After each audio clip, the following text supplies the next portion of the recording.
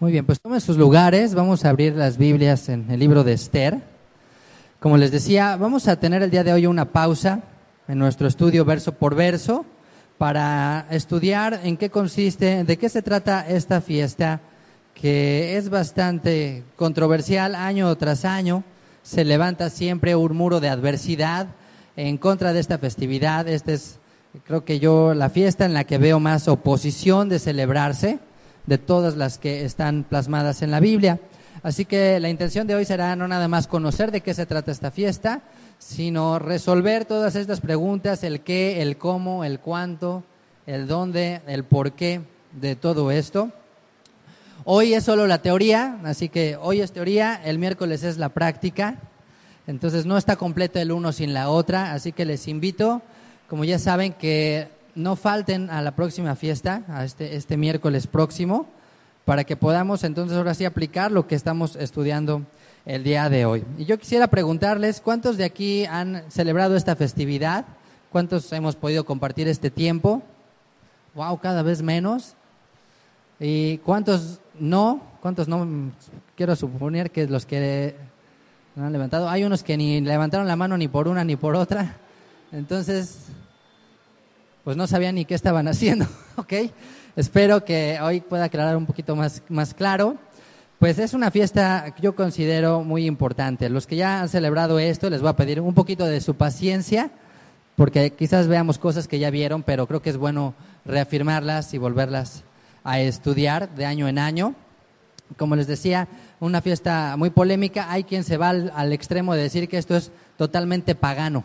Así lo dicen, no, pues esto es una paganería esto no tiene ninguna relación con la santidad que, Dios nos manifiesta y que tiene, y por lo tanto no hay que celebrarla. Y bueno, de repente les cargan ahí que los orígenes de los nombres de los principales personajes, que Mardoqueo, Mardoqueo, Mordejai es Marduk, y que Esther es una Easter, y la diosa Easter, y en fin. ¿no? Y ahorita vamos a ver algunos detalles de esto, pero yo creo, eh, hay un dicho que dice que donde está lo más profano, también ahí está lo más santo. Ah, yo creo que siempre hay una contraparte de parte del adversario a todo lo que Dios está tratando de hacer. O sea, no hay algo que tenga un valor espiritual que no tenga una, un némesis, una contra.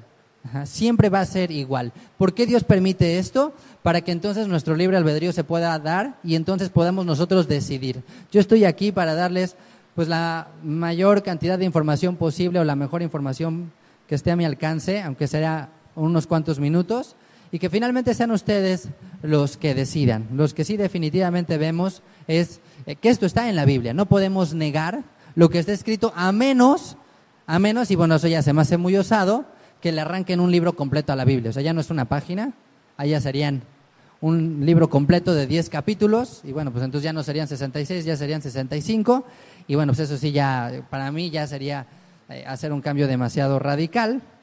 Es cierto, esta fiesta no es, no son las que están descritas dentro del Levítico, en la Torah. Sin embargo, el valor histórico que tiene y profético nos puede llevar a pensar que, que se puede celebrar y se puede recordar. Y bueno, tan es así esto, que fíjense, un hombre de los más conocidos en los últimos 100 años, de los más populares, que sabía el valor y el poder que tiene Purim. Fíjense, esto no lo digo yo, esto lo dijo él, dice en 1944, Adolfo Hitler en un discurso dijo que si los nazis perdían la guerra, los judíos podían celebrar su segunda fiesta de Purim. Eso lo dijo Adolfo Hitler. Así de consciente estaba él del poder que tenía o que tiene esta fiesta y el valor y el significado que tiene esta fiesta. Él no era un neófito, no era alguien que, a veces pensamos que solo era un loco que no sabía lo que hacía. Tenía mucho sentido lo que hacía. Él hacía muchas cosas porque finalmente había alguien que lo estaba dirigiendo. y estamos en un mundo de guerra espiritual. Y él también ha sido inspirado, fue inspirado por un espíritu para hacer lo que hizo. Y que estuvo pues, pues cerca de lograr, si no es justamente por la mano de Dios. Y no fue el primero, y tal vez posiblemente tampoco sea el último. Ajá. Bueno, vamos así, en resumen, a hablar un poquito de esto. ¿Qué es Purim?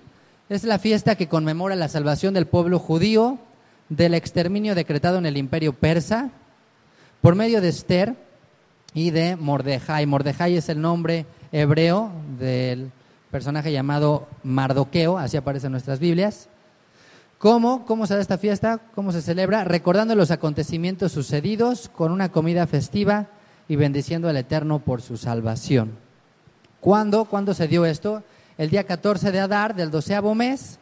La historia se desarrolla aproximadamente entre el año 486 y el año 435 antes del Mesías y se encuentra en el libro llamado Esther. ¿Dónde se dan estos acontecimientos? En el imperio persa se dio esta historia pero la celebración se da ahora en cualquier lugar donde existe el agradecimiento a nuestro Padre por su salvación. ¿Y por qué? ¿Por qué hacer esto? Aunque no es una fiesta de la Torah, como les comento, el valor histórico que tiene, así como Hanukkah, lo hizo que se diera un decreto por parte de los sabios de aquella generación.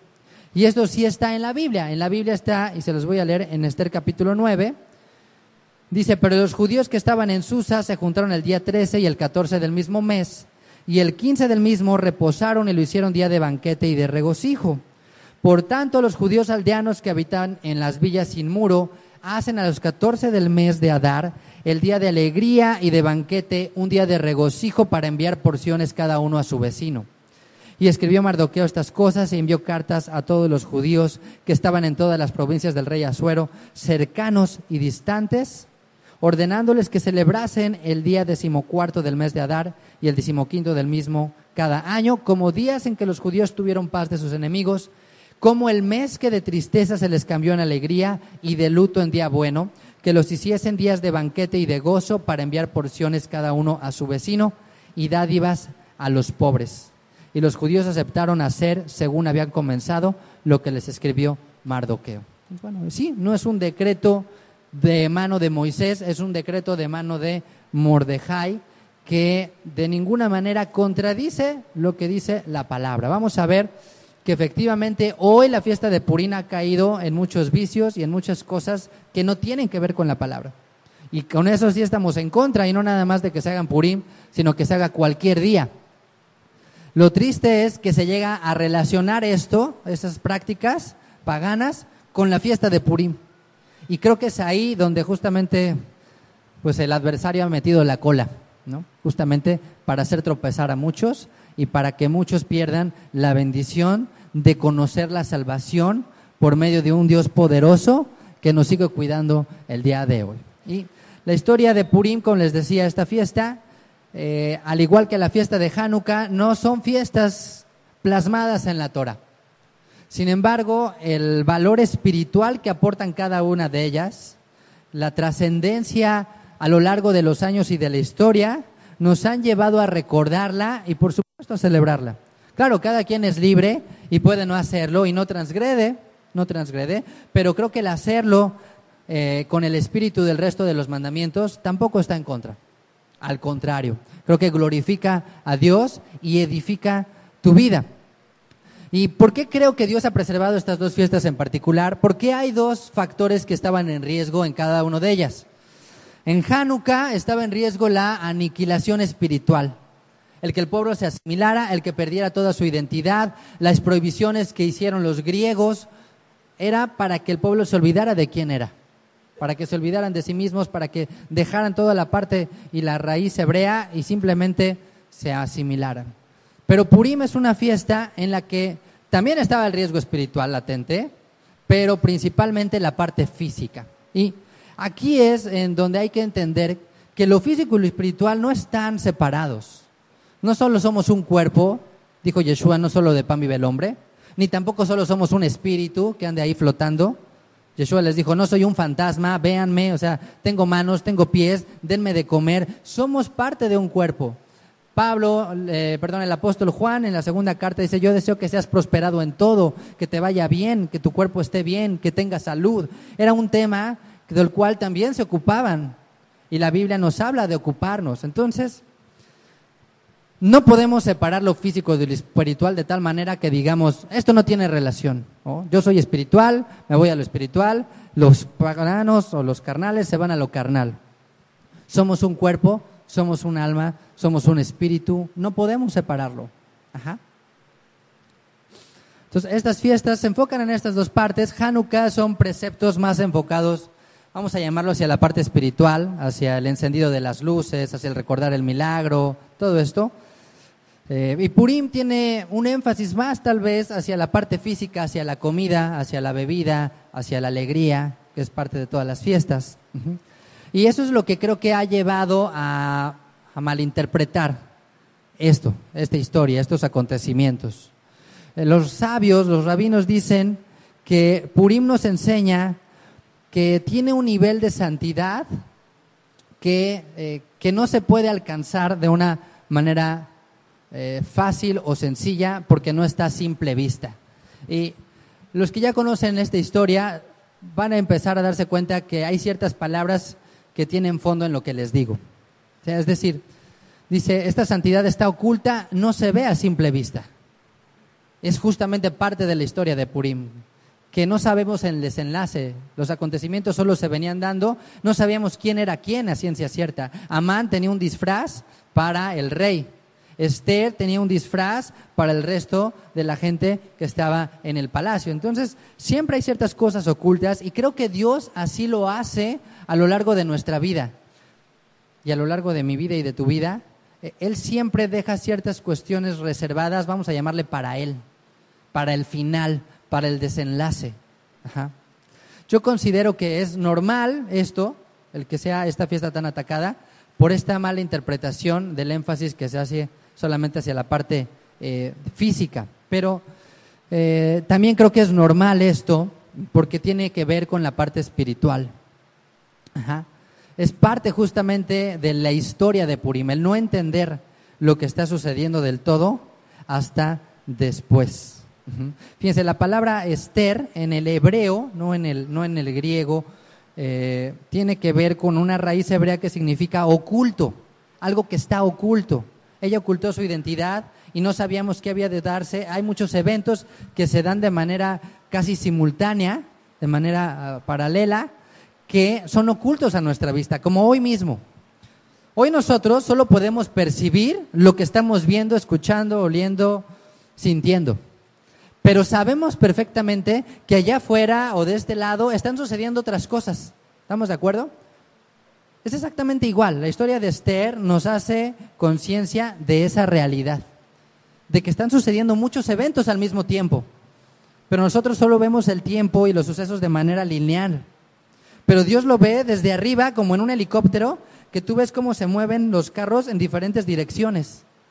De eso se trata la historia de Purim de tener una perspectiva más alta de los acontecimientos y eso significa fe, poder ver las cosas desde más arriba. Por eso hay mucha gente que apostata, ¿por qué? Porque solo ve la vida en lo que puede alcanzar a ver desde sus ojos. Y no se espera ver el final, no se espera ver el desenlace. Esther, fíjense, en, el idioma persa significa estrella. Ajá, pero en arameo, la palabra sihara que es Esther, significa luna. luna.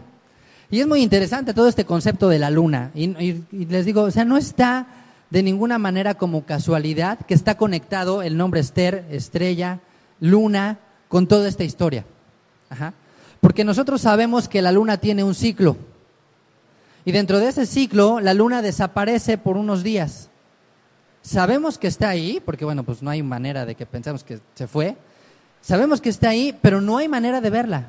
Por el movimiento de rotación de la Tierra, por el movimiento de la Luna misma sobre, sobre la Tierra, no hay manera de ver el lado oscuro de la Luna. ¿sí? O sea, solo tendrías que irte a una nave y hacer eso, pero no hay manera de verlo desde la Tierra.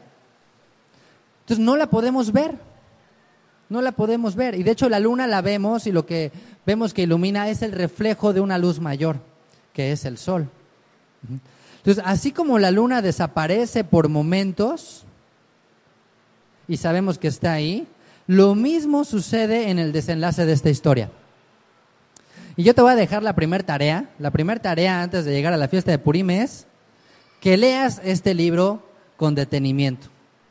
Si no lo has hecho, bueno, pues es casi casi obligación, aunque lo vamos a leer este día, eh, es necesario que lo leas, porque entonces vamos a llegar y tal vez no, captemos del todo eh, por el poco tiempo que tengamos. Y si ya lo leíste, vuélvelo a leer una vez más. Yo te aseguro que después de este estudio tu perspectiva va a ser diferente de esta historia. Entonces, así como la luna se oculta a nuestros ojos, Dios oculta su identidad, oculta su nombre del libro. Cosa curiosa, este es el único libro de la Biblia donde no se menciona el nombre de Dios, donde no aparece la palabra Dios. Pero aquellos que tienen fe saben que Dios está ahí. Sabemos que Dios está ahí. Así como sabemos por lógica y por ciencia que la luna está ahí aunque no la veamos, aquellos que tienen fe saben que Dios está en el control de todos los sucesos aunque no lo podamos ver. Por eso es tan difícil encontrar la santidad en esta fiesta. Pero es intencional. Dios lo hace de esta manera con el deseo de que solo algunos que escudriñen y se metan y quieran tomar el camino de la fe puedan llegar a verlo.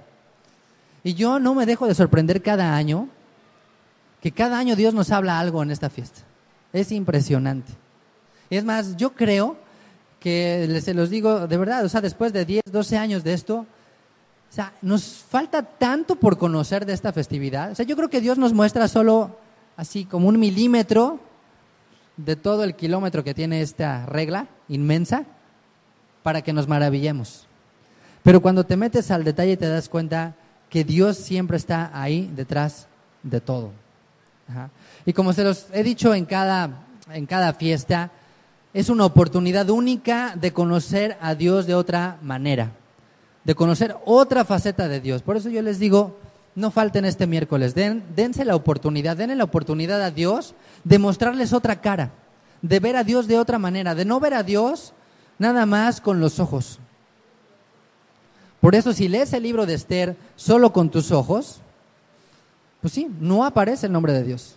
Aunque el año pasado, los que estuvimos en la fiesta, ya vimos que en los manuscritos y todo esto aparece efectivamente el nombre de Dios. Otra cosa es que, bueno, pues que no sepamos hebreo y no nos metamos a ese tema. Pero, pero aparece el nombre de Dios oculto, pero ahí está. Entonces, esa es la idea, conocer a Dios de otra manera. Y Yom Kippur es una fiesta, les decía, eh, impresionante porque nos muestra y nos recuerda el valor que tiene la redención y la salvación. Generalmente pensamos en redención en Pesaj. Curiosamente, las dos fiestas se dan a un día 14, el 14 de Aviv, el 14 de Adar. Eh, y también tiene un enlace con la fiesta de Yom Kippur. ¿Se acuerdan? Yom Kippur es la fiesta en la que se echaban suertes. Suertes sobre estos dos chivos y uno de ellos era el famoso chivo expiatorio. Ajá un hombre malvado llamado Amán, el villano de, de esta historia, estaba buscando un chivo expiatorio y lo encontró en los judíos. Entonces, así como, como en Yom Kippur se busca buscar un culpable por medio de la suerte, en la vida y en el mundo espiritual, Satanás también está buscando un chivo expiatorio. ¿Y quién crees que es? Casi siempre. Pues Israel. Fíjense que los rabinos le llaman también a la fiesta de Yom Kippur, a la fiesta del perdón, le llaman Yom HaKippurim y dicen que ¿por qué se le llama así? Porque Yom HaKippurim significa casi como Purim. Kippur siendo una de las fiestas, si no es que la más solemne, el día del perdón, el día del ayuno, el día en el que nos ponemos a cuentas con Dios, el día en el que nos queremos acercar de todo corazón a Él y llegar a ese nivel de santidad. ¿Cómo es posible, dice, que Yom Kippur, teniendo esa solemnidad tan grande, sea casi como Purim. Entonces, si dice que es casi como Purim, ¿cuál es mayor? Pues viéndolo así, ¿cuál es mayor? No. Viéndolo así, Purim es mayor que Kippur. Si dice que Yom Kippur es casi como Purim, pues quiere decir que Purim es más. Entonces, ¿cómo es posible que Purim, que no está en la Torah, pueda ser más grande o, o, no, o Yom Kippur no llegue al nivel de Purim. Y esto es justamente por este misterio, justamente por esta parte que está oculta en la santidad de la fiesta. Y es que Yom Kippur te lleva a un destino al cual todos debemos de llegar, por lo menos una vez al año, que es la teshuvah, el arrepentimiento, el perdón, la humillación en la cercanía con Dios. Pero ¿sabes qué? Purim te lleva exactamente al mismo lugar, solo que por otro camino. O sea, mismo destino, dos caminos diferentes. Tú escoges cuál tomar. Por medio del ayuno, y no me digan que les encanta ayunar, por medio de la oración, por medio de pedir perdón, por medio de doblar tus rodillas, por medio de despojarte de todos los placeres de tu cuerpo, o por casi casi la contraparte, por comer, por beber, por alegrarte, por danzar. Entonces, ¿qué camino escogen? Ah, pues si listos somos, ¿va? si tampoco no somos tan para tomar. claro, o sea, cualquier persona sensata no me diga que no. Oye, por supuesto, si se trata de llegar al mismo lugar, de llegar en burro a llegar en avión, ¿sabes qué? Prefiero llegar en avión. de chutármela caminando en Guarache a llegar en aire acondicionado, en una limusina, ¿sabes qué? Prefiero ese camino. Seamos honestos. ¿Cómo es posible llegar al mismo destino por vías tan diferentes? Bueno, pues no me da tiempo de explicarles todos los detalles, pero, pero uno de esos, el, camino en común de ambos es la fe. La línea en común que tienen estos dos senderos es la fe. Es el creer que Dios te puede llevar al mismo lugar, pero, pero no es tan fácil llegar a ese lugar. Y vamos a, empezar a, a ver de qué manera nos va llevando Dios a esto y meternos un poquito a la parte técnica o más teórica de esta festividad.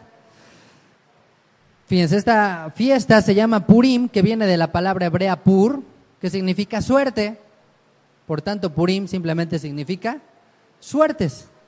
Es lo que significa Purim, suertes. Ya desde aquí nos suena un poco raro, ¿no? Como diciendo, ¿cómo que la suerte? No hay que ser supersticiosos, algunos dicen. Pero, a ver, siendo honestos, ¿cuántos de aquí creen en la suerte? ¿Sí? Dos personas creen en la suerte. Los demás, tres. Los que están casados, ¿por qué creen que se casaron? ¿Por su linda cara o, sea, pues, yo creo que ahí aplica la suerte. Bueno, en el Proverbio 16, 33, dice, la suerte se echa en el regazo, más de Adonai es la decisión de ella.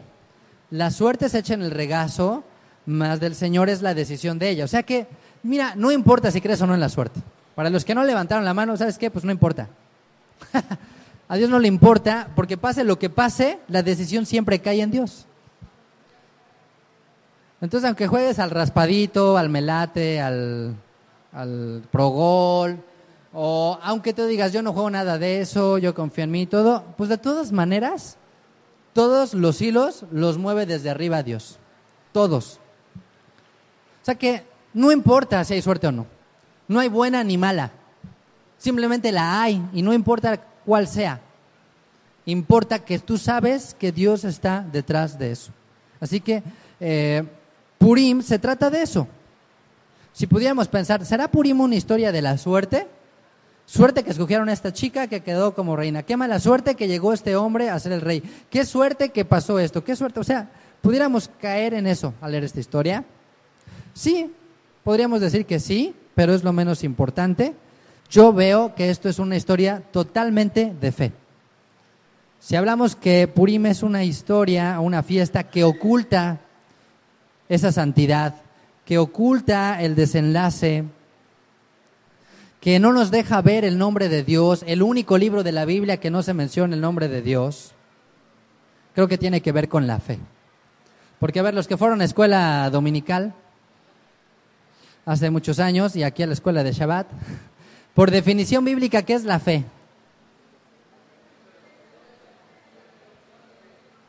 Ahora, ya ven si fueron a las clases.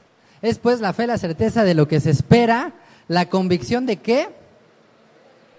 ¿La convicción de qué? De lo que no se ve.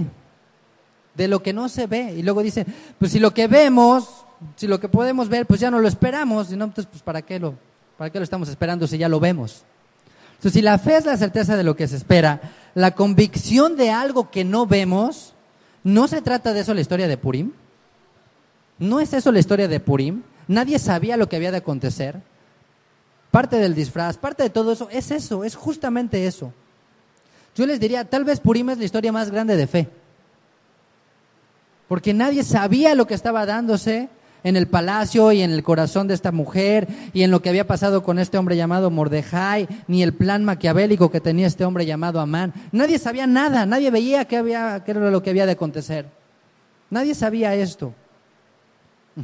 Por eso creo que es una historia de fe, pero tu vida y mi vida sí es. Tu vida y mi vida no podemos ver realmente tantas cosas. Es tampoco lo que podemos ver. Simplemente confiamos en nuestro Padre Celestial día a día y eso es vivir en la fe.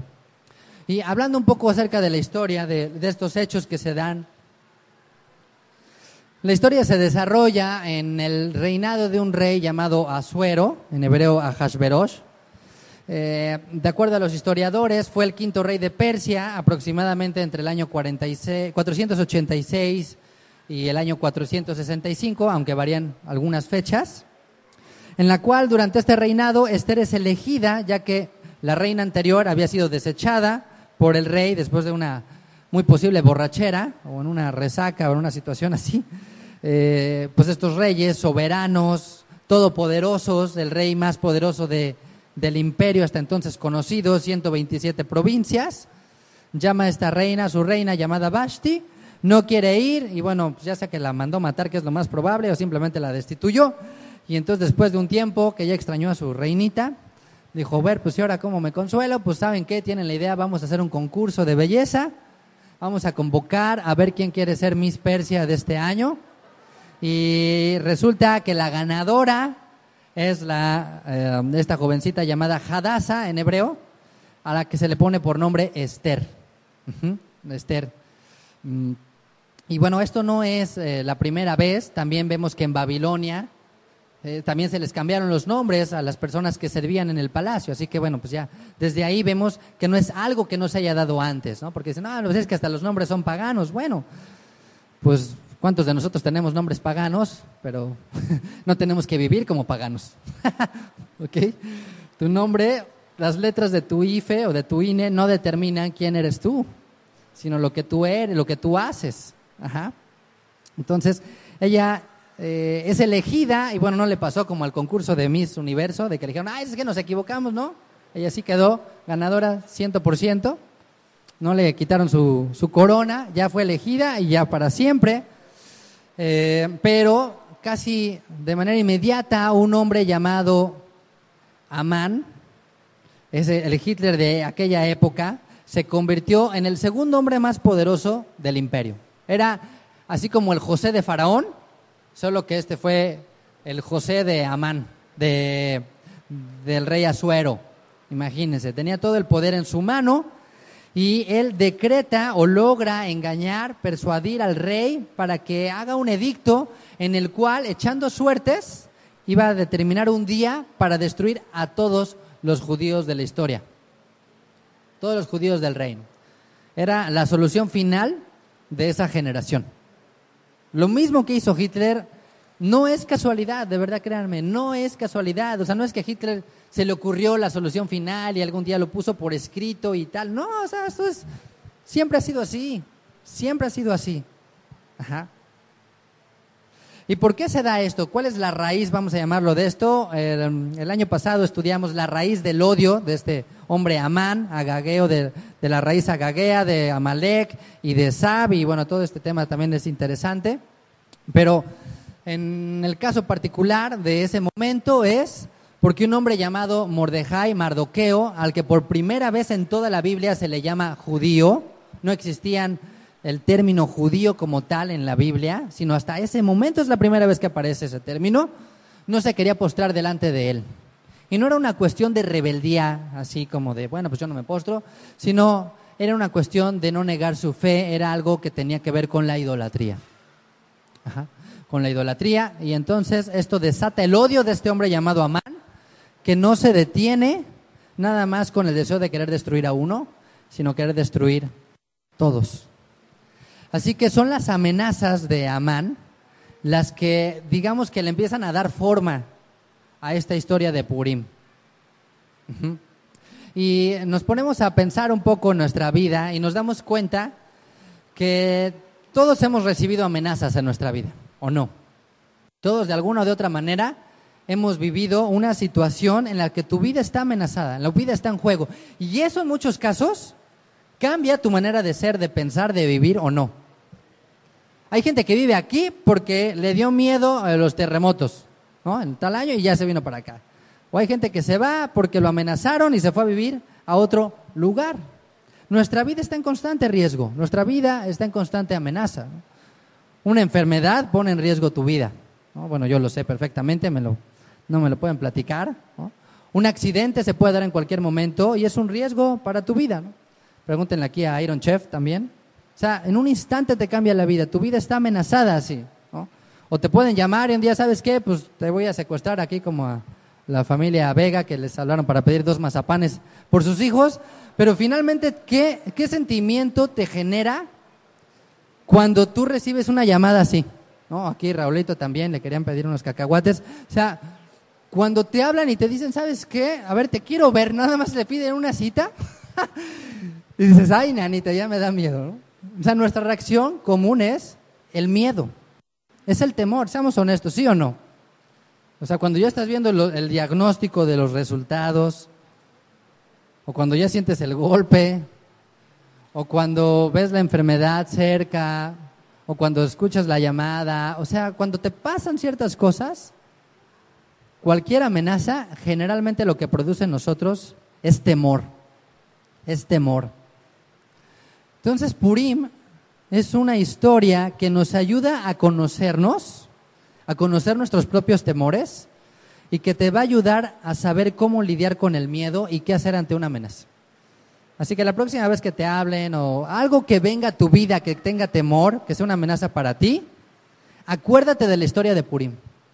Acuérdate de este libro, porque tal vez es el salvavidas y es la diferencia de cómo vivir y de cómo actuar. Pero, ¿cómo es posible que este hombre llamado Amán se aventuró no nada más a destruir a uno, sino querer destruir a todos? Fíjense lo que está escrito justamente en el libro de Esther, en el capítulo 3, verso 8. Dice, y dijo Amán al rey Asuero, hay un pueblo esparcido y distribuido entre los pueblos y en todas las provincias de tu reino. Y le empezó a hablar pestes de este pueblo, obviamente que no quieren pagar impuestos y que son unos rebeldes y que celebran otras fiestas y que comen otra cosa y que no se quieren adaptar.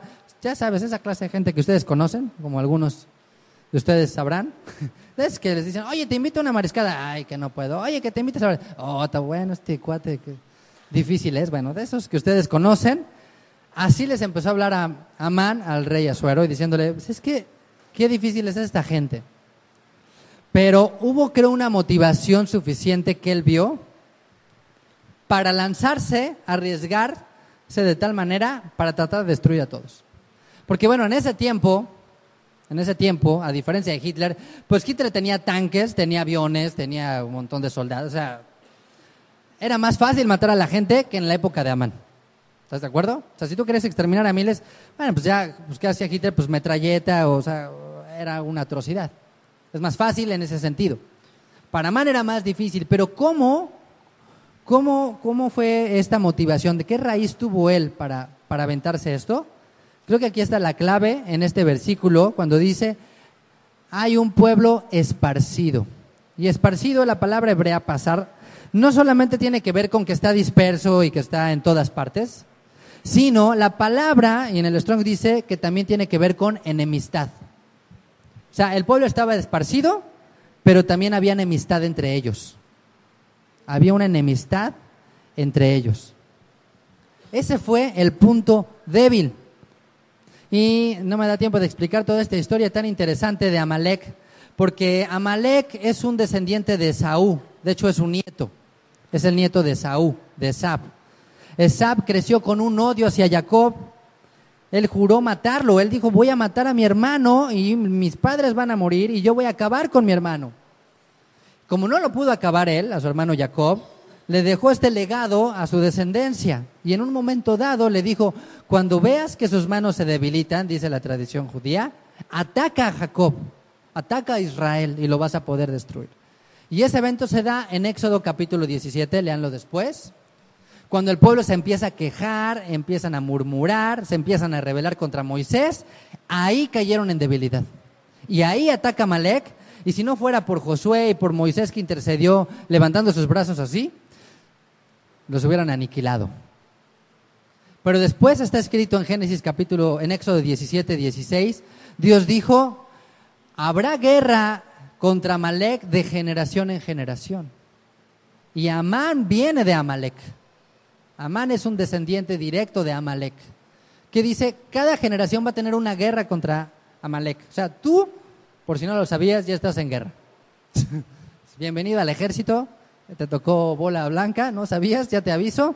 Éxodo capítulo 17, versículo 16, ahí está tu llamado, ahí está tu nombre. Así que listo para la guerra, porque de generación en generación habría esto. Y bueno, aquí sí se vive, aquí sí se da. Y la clave para aventarse al matar a todos los judíos fue ver esa enemistad entre ellos. Así que Purim es una historia que nos va a ayudar a ver cómo unirnos otra vez. ¿Esto de dónde viene? De Satanás. Satanás está tratando de ver una grieta, una rendijita en cualquier unidad para por ahí colarse. Y el plan de Dios es, es que haya unidad. Yeshua oró en Juan capítulo 17, él dijo, yo te pido que sean uno, Padre, como tú y yo somos uno. Desde el inicio de los tiempos, cuando Dios hizo al primer hombre y sacó de su costilla a su esposa Eva, ¿qué dijo? Y dejará el hombre a su padre y a su madre y se unirá a su mujer y serán los dos una ejad, una sola carne, un solo cuerpo, un solo pensamiento. El pueblo de Israel, hay varios pasajes que cuando van a la guerra y ganan, antes dice, y salieron todos como un solo hombre. Eran miles, pero eran como si fueran uno. Bueno, pues aquí, durante el reinado de este rey persa, no eran uno, no estaban unidos. Y esa fue la oportunidad de oro que encontró Satanás para poderlos aniquilar. Así que la amenaza más grande para Israel no viene de fuera, no viene de las guerras que quiere mandar Irán, no viene de ISIS, no viene de ahí. Viene cuando nosotros estamos divididos como pueblo, como matrimonio, como familia, como congregación. Ahí esas grietas son las que Satanás va a tratar de aprovechar. Y yo te digo, no le demos esa oportunidad. ¿Qué te parece? Aprovechemos esta fiesta de Purim y pongámosle sellador a esas grietas.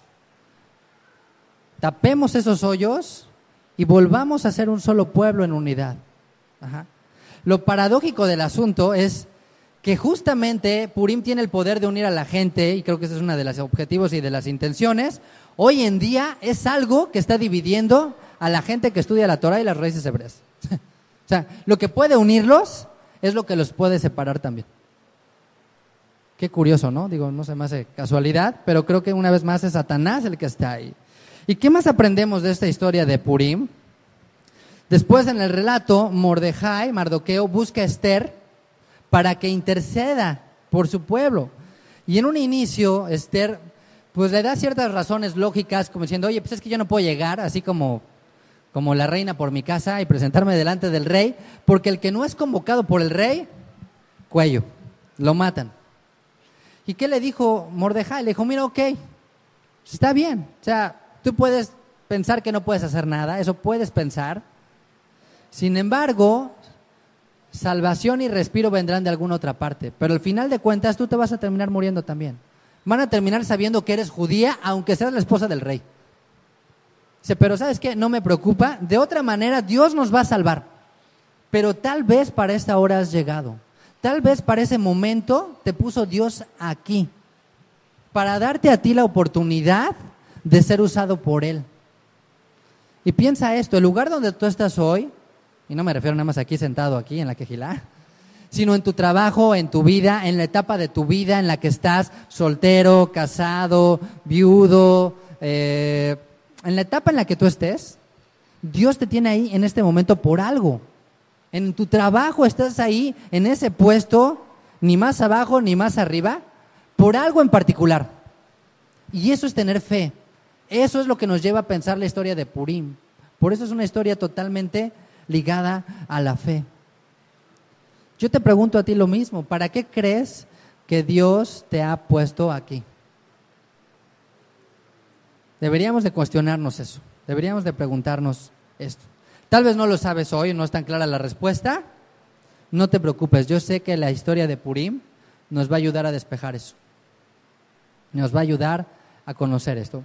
Y bueno, después en la historia, astutamente vemos que Esther logra, de una manera también muy osada, mostrarle al rey su identidad a través de una serie de banquetes que, ella planea y el plan que tiene este hombre perverso llamado Amán, que termina siendo ahorcado en esta horca que él mismo construyó para Mardoqueo.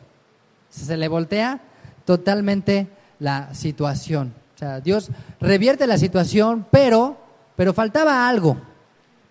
Faltaba algo. Y bueno, bueno, desde aquí se da el primer milagro. El primer milagro es ah, que el rey escuchó a Esther, que el rey abrió sus ojos y se dio cuenta de quién era la persona que estaba delante de él.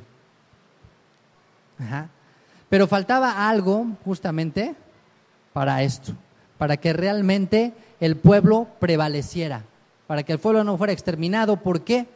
Porque el rey no podía cambiar el decreto que ya estaba escrito, ni el propio rey podía cambiarlo, imagínate. Es lo mismo que la Torah.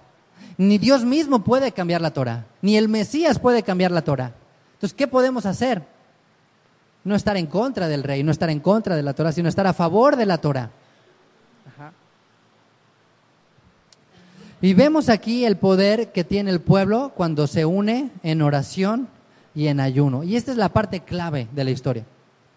Que Esther le pide a Mordejai, ¿sabes qué? Dile a todo el pueblo que se une en oración por mí, que se une en ayuno para que cuando yo interceda, las cosas se den. Y el pueblo se unió. Y el pueblo volvió a ser uno. El pueblo volvió a la, a la unidad a la que había sido llamada. Y entonces todo cambió. Cuando el pueblo se humilló y se quebrantó, eso trajo redención y salvación. Entonces, no importa que fuera una super palanca ahí en el palacio que fuera Esther, ni aún Esther los podía salvar por sí misma. Ella sabía que por sí misma no los podía salvar si el pueblo no se unía detrás. Así que tal vez la redención no termine de llegar hasta que no haya unidad entre nosotros. Y me gusta esta ilustración que encontré porque se ve a un pez grande comiéndose unos pececitos chiquitos. Pero si todos los peces se ponen de acuerdo, ya se van así, se ve hasta como una pared, ¿no? Se ve impresionante cuando ves estos bancos de peces, que es tal cual, es como si fuera un tren, pero acuático, que se va moviendo y que va desplazando todo lo que se le acerca. O estos animalitos pequeños que se enfrentan a serpientes o animales más fuertes que ellos, pero cuando están juntos. Justamente así debía de ser el pueblo de Israel. Y justamente es lo que tenemos que hacer tú y yo. Tenemos un Dios grandioso y a veces se nos olvida, pensamos que estamos solos. Y tú no estás solo. Dios está con nosotros. Lo único que nos pide que es, ten fe en que yo estoy ahí, en que yo estoy en el control de todo y busquemos la unidad. Dios no está dormido, Dios está guardando, Dios es nuestro escudo y tienes que confiar en Él. No confíes en tu propia fuerza, no confíes en tu mano. Confía en aquel que dice yo soy el guardián de las puertas de Israel. ¿Y desde cuándo habrá puesto Dios ese escudo sobre Israel? Hasta la esposa de Amán sabía de ese escudo. Y no es el domo de hierro de ahorita de estos de los misiles, no. Es una figura de lo que sucede espiritualmente, ¿sabías? Hasta yo lo veo así. Este sistema de defensa que creó el gobierno, el ejército de Israel, que destruye los misiles que son lanzados contra la tierra de Israel y los destruye en el aire, yo veo así el mundo espiritual. Yo veo que Satanás está lanzando y lanzando y lanzando flechas y lanzando ataques. Y si viéramos y abriéramos nuestros ojos espirituales, como le dijo Elías al, o Eliseo a su siervo, que dijo, Señor, abre los ojos. Y en ese momento vio caballos y ángeles y un ejército celestial que dijo, nos hacen los mandados, pues, ahora sí, a ver, ahora sí ya, súper valiente. Es igual espiritualmente. Te están lanzando misiles y ¿sabes qué? Pues Dios te está lanzando otro que lo va a destruir desde antes. La historia de Esther nos permite ver esto. Nos permite ver esto si tú tienes fe. Si tú confías en el escudo que es Dios. Y les decía, ¿desde cuándo creen que Dios puso ese escudo sobre Israel? Que está escrito. ¿Qué pasaje habla de esto? Génesis capítulo 12.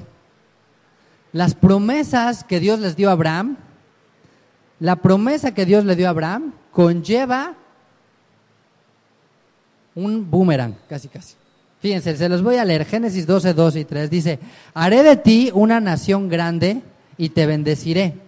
Y engrandeceré tu nombre y serás bendición. Bendeciré a los que te bendijeren y maldeciré a los que te maldijeren. Y serán benditas en ti todas las familias de la tierra. Amén. Amén. Amén, claro que amén. ¿Esto es real o no? Fíjense, Dios pudo haber dicho, bendeciré a los que te bendigan y ya. No, pues ya. Pero ¿por qué le añade la parte de decir, maldeciré a los que te bendigan, maldigan? Dios le está poniendo dientes a esta promesa. ¿Para qué? Para que muerda. ¿No? Para eso son los dientes. ¿Tú sabes qué? No nada más voy a bendecir a los que te hagan bien, sino aquel que te lance una se le va a regresar pero se la voy a regresar yo.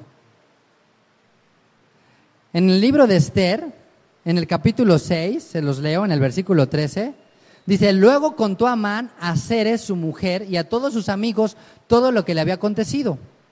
Entonces le dijeron sus sabios y Ceres su mujer, fíjate, sus sabios y su mujer le dijeron a Amán, si de la descendencia de los judíos de Judá es ese Mardoqueo delante de quien has comenzado a caer, no lo vencerás, sino que caerás, por cierto, delante de él.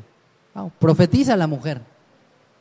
Los sabios de Persia le dijeron, si este hombre es judío, vas a caer delante de él, no hay de otra. Tú eres el segundo hombre más poderoso de la tierra, pero tú vas a caer delante de un siervo. ¿Por qué? Porque ya está escrito.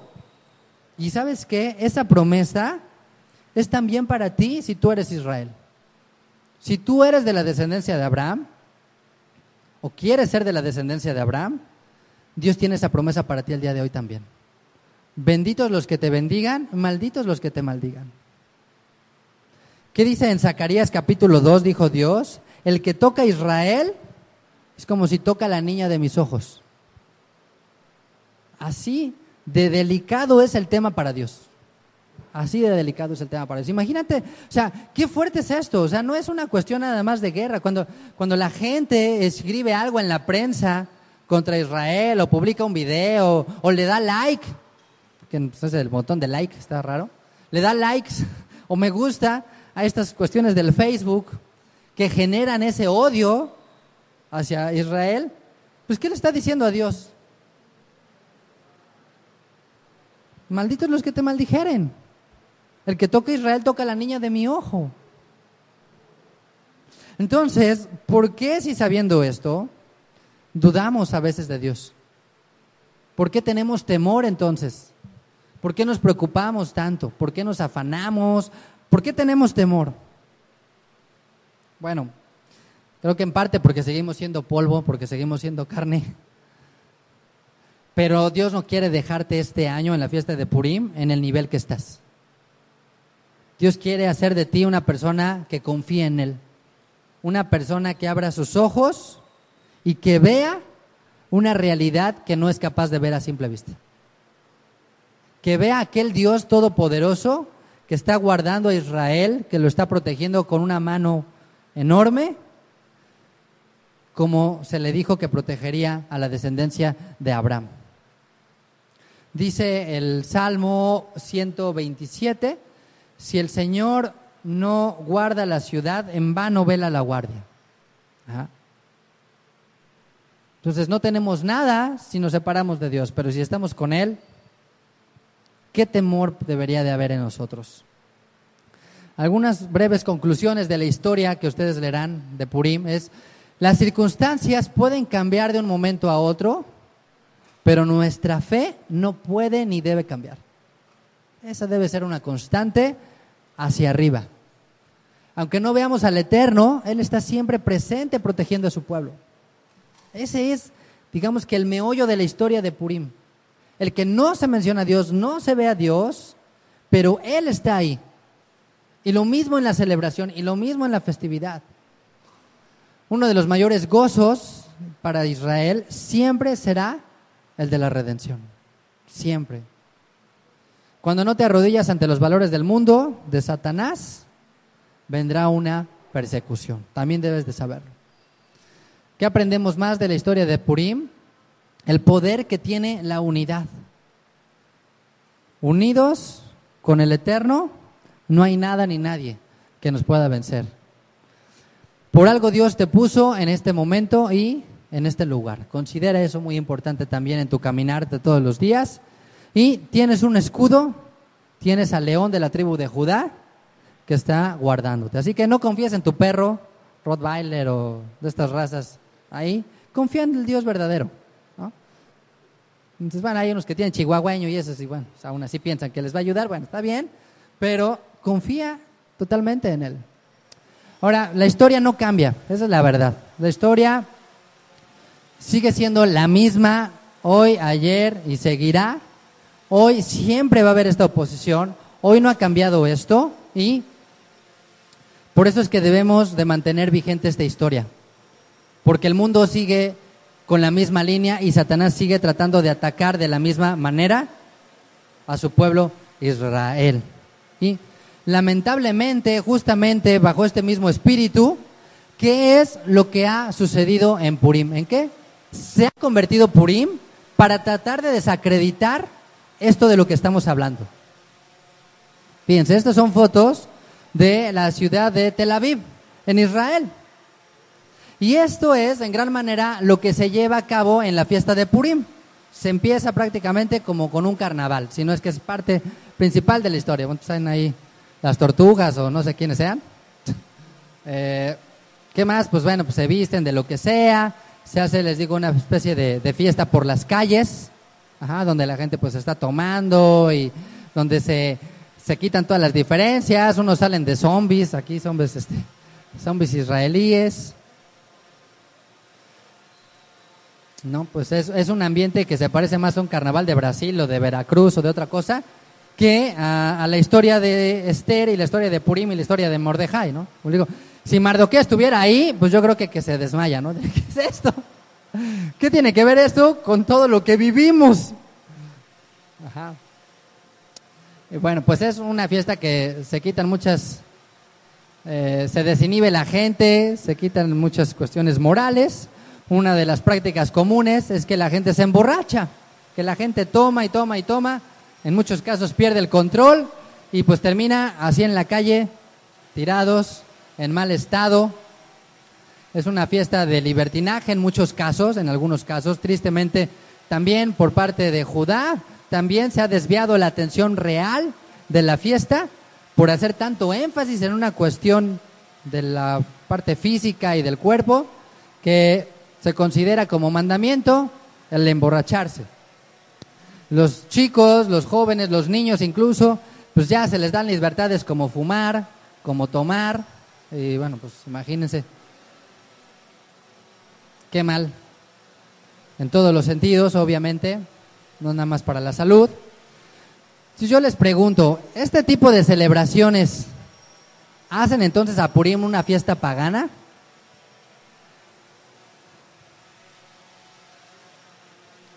¿Será entonces esto motivo por qué ellos hacen esto? ¿Para no recordar la salvación de Dios?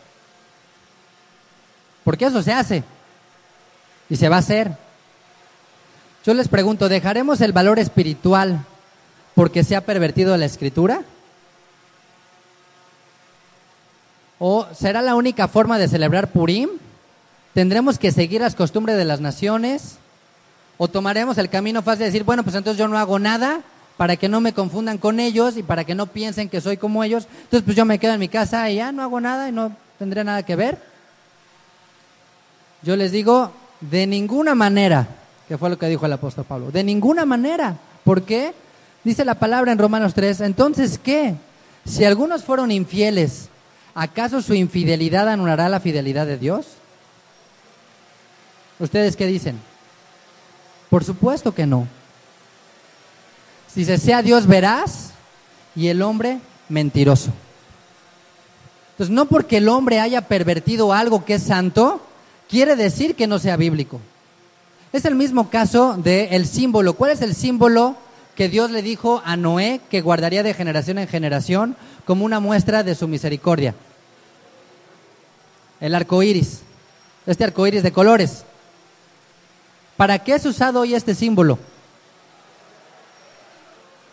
Pues es un símbolo de perversidad, de perversión, de homosexualidad.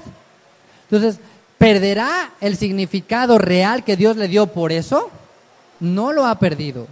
¿Perderá la fiesta de Purín su valor espiritual, su mensaje, el contenido profético que tiene solo porque algunos lo celebran de esa manera? Por supuesto que no. Simplemente cuál es la advertencia. No sigas el camino de las naciones, no hagas lo que ellos hacen, porque tú tienes un llamado hacia la santidad. Entonces, por eso yo creo que es importante celebrar Purim. Porque el valor tan grande que tiene sería una tristeza desaprovecharlo. Solo porque hay algunos pues, que se emborrachan o que hacen cualquier clase de cosas.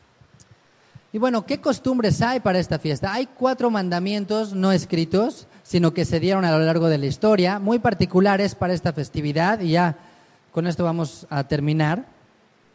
Y es la lectura de la Megilat de Esther, la lectura del libro de Esther. Se considera esto de lo más importante. Se acostumbra a leer dos veces, la noche de Purim y en la mañana siguiente.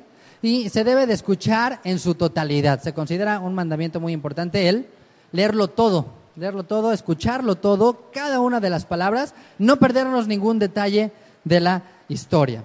Y como parte para animar esto, cada que se escucha o se menciona el nombre de Amán, se acostumbra a hacer ruido, a hacer babucheo, a hacer bulla, a hacer así. ¿ah? Y cuando se escucha el nombre de Mardoqueo o de Esther, pues se aplaude, se hace un alarido, se hacen aplausos. ¿Por qué? Porque pues es la contraparte. Así que pues se pueden traer sus matracas, sus cornetas, sus trompetas, lo que sea, que sepa hacer ruido. De eso se trata también, ¿ok? Entonces lee este libro que es el Segundo libro que tiene nombre de una mujer. De los 66 libros, solo Ruth y Esther tienen esta característica. ¿Qué más se acostumbra a hacer? Comida a los amigos, se le llama Mishloach Manot, porciones que se dan a los amigos. Esto está escrito en la Biblia, en Esther capítulo 9. ¿Cuál es la idea? La idea es aumentar el amor, la amistad, el compañerismo. Y bueno, ¿a quién no le gusta recibir un regalo? ¿A quién no le gusta recibir algo para comer? Es costumbre dar dos regalos, dos porciones de comida ya preparada. O sea, no le vayan a dar la lata de salsa de, vamos, ahí está, prepárate algo y me invitas. No es así. Es algo que ya puede comer la persona, entonces pues, puede ser un detalle, no tiene que ser un narcón navideño de estos de gana. Simplemente es un detalle que sirva para estrechar los lazos de amistad. Entonces se puede dar en el día de Purim en la mañana, o se puede dar en la tarde, o se puede dar antes. En estos días lo pueden hacer. Así que pues, una idea es fomentar la amistad, fomentar el amor, como está escrito en el capítulo 9. ¿Qué otra costumbre linda hay y que yo creo que esto hay que guardarlo? Y es eh, Matanot, la Bionim, que son los regalos a los pobres. Ajá, se considera como mandamiento. ¿Cómo me voy a alegrar yo? Dice el apóstol Juan. ¿Cómo te voy a decir Shabbat Shalom? ¿Cómo te voy a decir Shalom? Si ni siquiera sé si tienes con qué taparte y con qué comer. Entonces, es la misma idea. ¿Cómo vamos a estar acá nosotros alegrándonos y danzando cuando sabemos que tal vez hay algún necesitado? Entonces, bueno, como manera de cumplir este precepto es darle a quien más lo necesita. Pero ahí sí, esto es pues, particularmente a gente que está en una necesidad total, ¿no? Gente que está en la calle, o sea, realmente gente que está menesterosa. A ellos se les puede dar dinero o se les puede dar comida. ¿Qué otra costumbre es? Pues el famoso banquete, el banquete de Purim, que es el que vamos a hacer por la noche. Dice, los días de Purim se fijaron como días de banquete y de alegría, eso está en Esther capítulo 9 también. Se debe realizar una comida festiva para conmemorar este acontecimiento. Y bueno, yo creo que la comida, la comida siempre es un motivo de unión, un motivo de agradecimiento, un motivo de bendición. Entonces, por eso es que se hace eso. ¿Qué otras costumbres hay? El ayuno de Esther, que se da el día 13. Ella ayunó y esa fue la parte clave para que todo cambiara. Entonces yo les invito a que ayunemos el día 13 de Adar, que es un día antes de la fiesta, o sea, el próximo martes. ¿Sale? El próximo martes, aquellos que tengan salud suficiente o estén en la condición, háganlo. Es algo que creo que también va a edificar su espíritu y nos va a acercar con el Eterno. ¿Qué otra costumbre es? Bueno, disfrazarse para la fiesta. ¿Por qué los disfraces? Bueno, la primera cláusula que les ponemos aquí en la quejilá es que sea bíblico, ¿ok? No se me vengan acá del hombre araña, que quieren de repente sacar sus poderes mágicos y todo, pero aguántense las ganas, aguántense los supermanes, sabemos que hay muchos poderosos aquí, pero sí queremos que el disfraz sea de la Biblia, ¿sale? Entonces, todos los disfraces de la Biblia, desde Génesis hasta Apocalipsis, tienes. Lo único que sí les digo, la única excepción es el de Adán y Eva antes de la caída, ahí sí no se me pongan tan, tan libertinos, ahí sí aguántense, nada más. Entonces, hay un montón de motivos y disfraces con los que pueden venir y esto lo va a alegrar. ¿Y por qué disfrazarse? ¿Por qué esto? Porque es ahí que la gente dice, ay, qué ridículo, a mí como que, ¿qué onda? ¿Por qué es así? Porque la idea es que en Purim nada es lo que parece. O sea, es una apariencia. Entonces, en cierta manera, un disfraz no eres tú, no eres realmente tú. Ajá. Eh, los, creo que yo que el valor de esta fiesta también es que los judíos entendieron que Dios se disfrazó de todas esas personas que fueron usadas para que se dieran las cosas. ¿Ah? Yo no sé cuántos de ustedes no entendieron esto cuando viniste a la palabra y dijiste, ahora recuerdo que antes de que conociera esto, Dios me estaba hablando a través de esta persona. Ayer me decía alguien eso, dice, es que esta señora que siempre me decía, dice, ahora veo que era Dios el que me estaba diciendo. O sea, Dios se disfrazó de una señora que estaba ahí vestida en el mercado, pero no me había dado cuenta. Hoy me di cuenta que Dios se disfrazó. Entonces la historia de Purim es una historia de disfraces. Es una historia en que las cosas no son lo que parecen. Tú y yo tampoco somos lo que realmente Dios nos ha llamado a ser. Ajá. Entonces esa es la idea. Por eso es que nos disfrazamos, no solo por la alegría. Y creo que Dios sigue disfrazado. Y esta historia de Purim apunta al Mesías. El Mesías, Yeshua, tiene un disfraz que le llaman Jesucristo, Jesús o lo ven de otra manera. Pero ese no es Él. Nosotros sabemos que Él no es. Ajá. Que lo han disfrazado, lo han vestido, lo han, lo han cambiado. Pero nosotros sabemos quién está detrás de ese disfraz. Ajá.